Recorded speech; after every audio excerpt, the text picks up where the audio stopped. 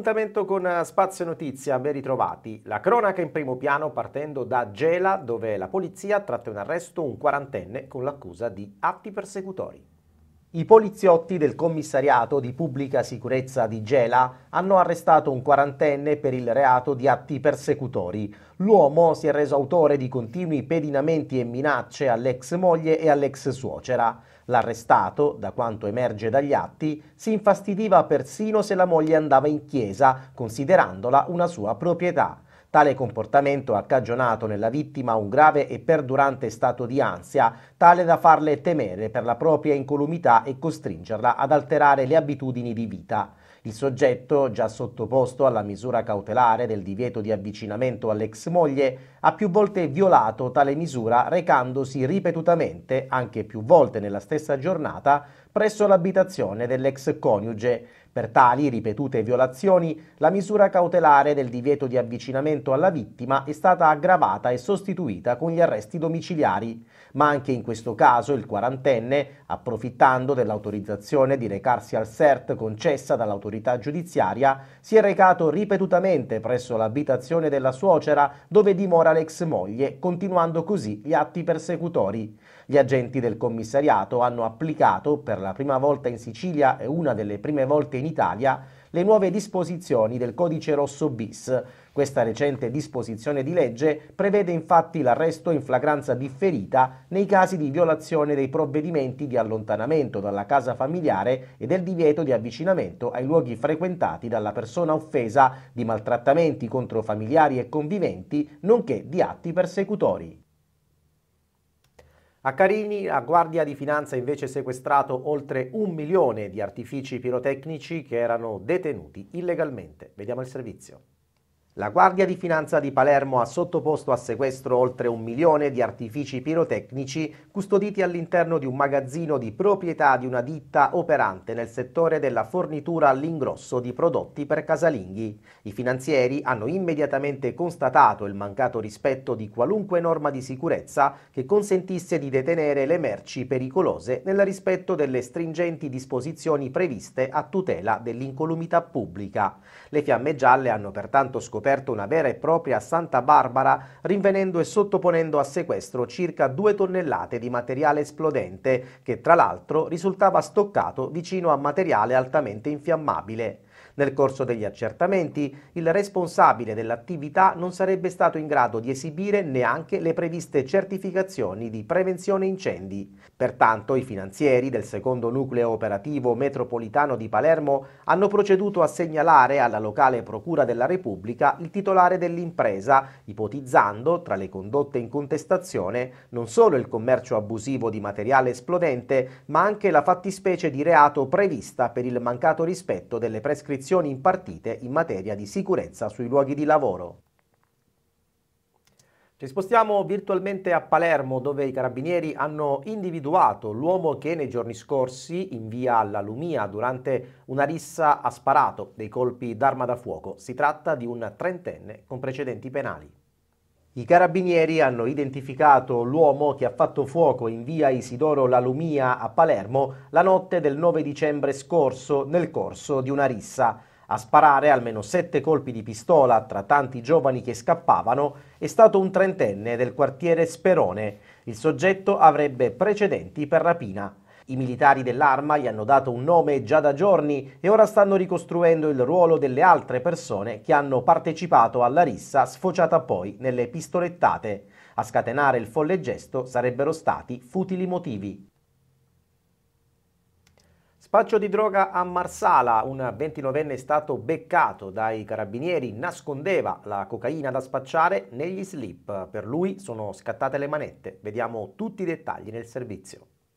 I carabinieri della compagnia di Marsala hanno tratto in arresto un 29enne marsalese gravato da pregiudizi di polizia per detenzione ai fini di spaccio di sostanze stupefacenti. Il soggetto sarebbe stato notato dai militari dell'arma in atteggiamento sospetto e guardingo per le vie del centro storico. Sottoposto a perquisizione personale, è stato trovato in possesso di un sacchetto in plastica contenente circa 60 grammi di cocaina, droga nascosta all'interno degli slip. Tratto in arresto a seguito dell'udienza di convalida, il 29enne è stato sottoposto alle misure dell'obbligo di dimora nel comune di Marsala e l'obbligo di presentazione alla polizia giudiziaria. Controlli dei carabinieri nei cantieri edili di Messina e provincia. Sono otto le persone denunciate. Vediamo perché.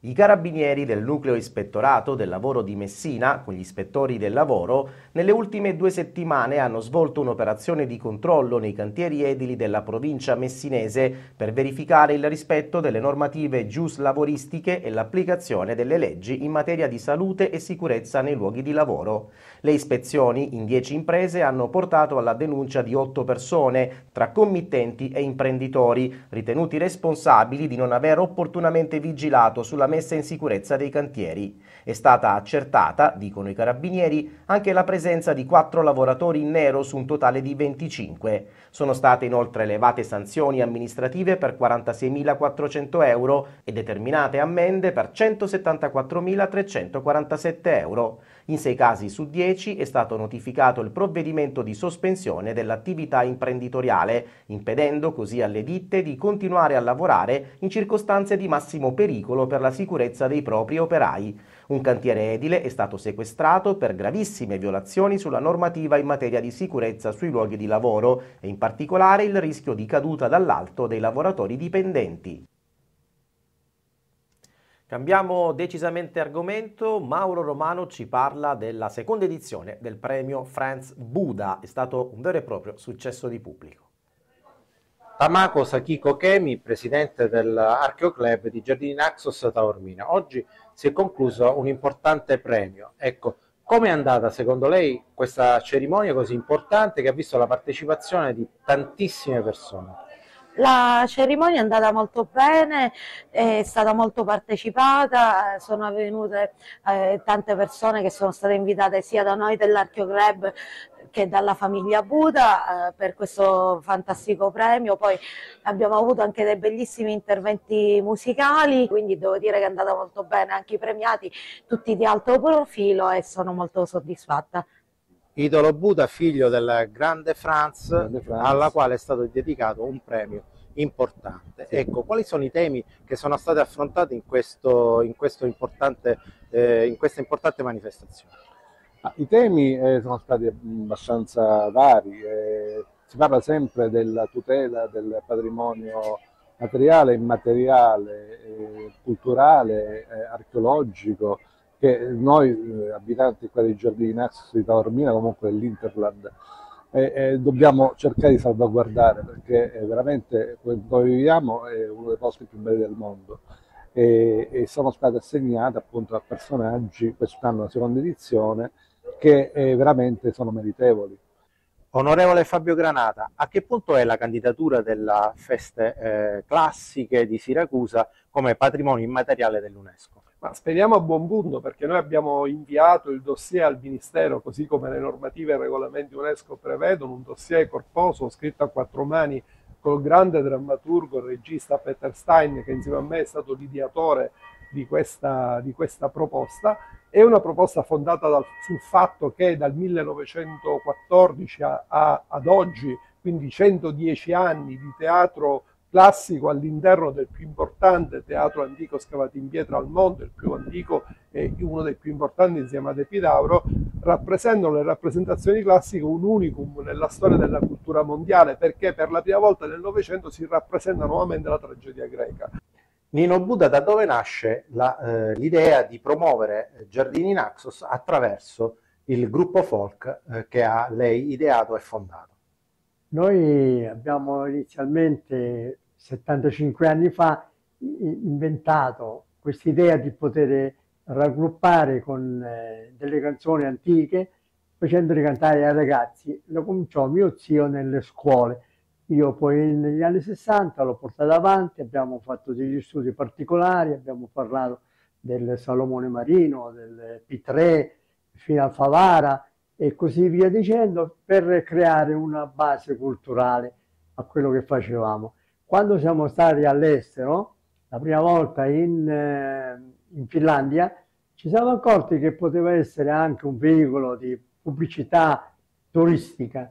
Infatti al ritorno da questo viaggio eh, molte persone che avevano eh, gustato e assaporato i nostri canti e le nostre arance che avevamo portato lì da loro sono venuti proprio a Naxos per incontrarci e, sono andati a finire nei grandi alberghi allora c'erano come la Ratena, la Riva eccetera e, e cercarono di quei ragazzi che li avevano fatti divertire. Così ho pensato che poteva essere benissimo questo il via ad un turismo migliore e, e organizzato. Professor Pierfrancesco Bruni, da dove nasce eh, l'idea di effettuare uno studio particolare sugli albanesi?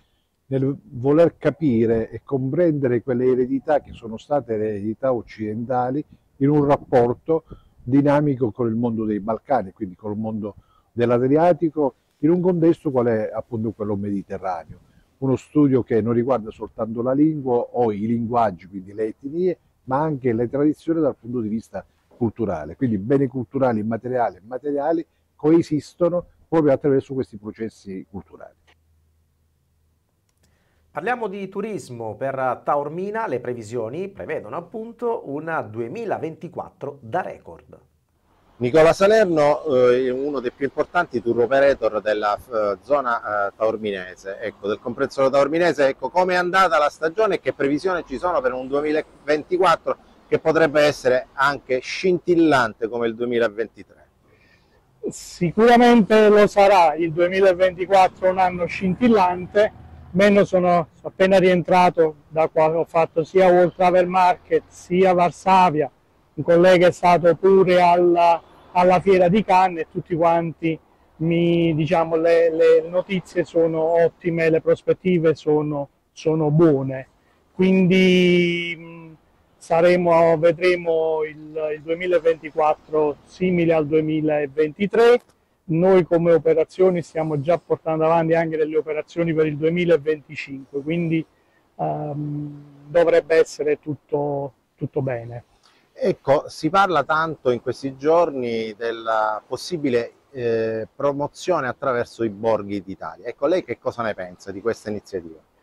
Io, credo, io penso che sia un'idea un po' bizzarra questa di, dei borghi, che Taormina possa entrare nei borghi, perché um, la classifica dei borghi è nata uh, appunto per, per, far, per promuovere piccoli centri um, che diversamente sarebbero meno conosciuti ma non meno belli o meno, meno interessanti da vedere. Ma io, io penso che so, uh, immagino nei borghi, mi sembra che siano 18-20 borghi siciliani, tra cui c'è Gangi, c'è, c'è Caltagirone, um, di Militello, il paese di, di, di Pippo Baudo, che oltretutto è anche uh, patrimonio dell'UNESCO. Ma la stessa Castelmola, voglio dire, sono dei, sono, sono delle, delle, dei paesi che uh, hanno bisogno di visibilità. Taormina non ha bisogno di visibilità, 1.400.000 presenze di residenti tutto l'anno, abbiamo, abbiamo più oltre più 2 milioni di visitatori giornalieri tra le crociere, le, le le escursioni dei giri di Sicilia, escursioni che arrivano giornalmente da, dalla Calabria. Quindi questa mi sembra un po' un'idea, un'idea bizzarra. Ecco. E il Natale come andrà Salerno? Sì, il, allora il Natale come al solito è un periodo che sia all'estero che in Italia si trascorre in, in, in famiglia, quindi sarà un po' sottotono. Ma il Capodanno è, una, è, una, è un'ottima... Abbiamo, registriamo dei buoni numeri. Mi lasci riprendere di nuovo un ultimo spunto uh, per, per, per, i borghi, anche, anche, la, anche la dichiarazione che ho letto che serve per destagionalizzare. Non mi sembra che, questi, che i centri appena nominati possano lavorare di più d'inverno, quindi niente, per me è una butard messa lì, eh, chi è del mestiere sa che per destagionalizzare servono altri impegni, altre prospettive e altre reti. Parliamo di salute dalla regione siciliana, oltre 8 milioni di euro per la riduzione delle liste d'attesa. Ammontano a 8 milioni e 600 mila euro le risorse aggiuntive destinate alle aziende sanitarie provinciali della Sicilia per interventi effettuati dalle case di cura nel 2023, determinando la riduzione delle liste d'attesa per i pazienti siciliani. Lo stabilisce un decreto dell'assessore alla salute Giovanna Volo e del dirigente generale per la pianificazione strategica Salvatore Iacolino. Il provvedimento, in linea con il piano regionale per ridurre le liste d'attesa approvato dalla Giunta lo scorso 27 luglio, prevede che le somme siano distribuite secondo il tetto di spesa provinciale. Proseguiamo, sottolinea il presidente della regione Renato Schifani, nell'impegno a ridurre le liste d'attesa e garantire ai siciliani prestazioni efficienti e in tempi ragionevoli. Le somme saranno assegnate alle aziende sanitarie per remunerare le prestazioni che hanno permesso di governare il fenomeno e offrire una più ampia assistenza ai cittadini, in linea con le iniziative mirate intraprese sino ad oggi dal mio governo. Il provvedimento, aggiunge l'assessore Giovanna Volo, è una conseguenza dell'azione che abbiamo posto in essere anche nel recupero delle prestazioni rimaste sospese a causa della pandemia. L'assessorato non si è fermato e ha proseguito nelle verifiche pure per il 2023, anche per chiudere l'arretrato e gestire la richiesta corrente, migliorando dove possibile la qualità del servizio, ha concluso l'assessore. Tra le prestazioni erogate oggetto del contributo regionale ci sono interventi chirurgici di area oncologica, in area cardiovascolare di media e alta complessità, di urologia, di ortopedia e di chirurgia generale. È tutto, possiamo chiudere questo appuntamento con Spazio Notizia.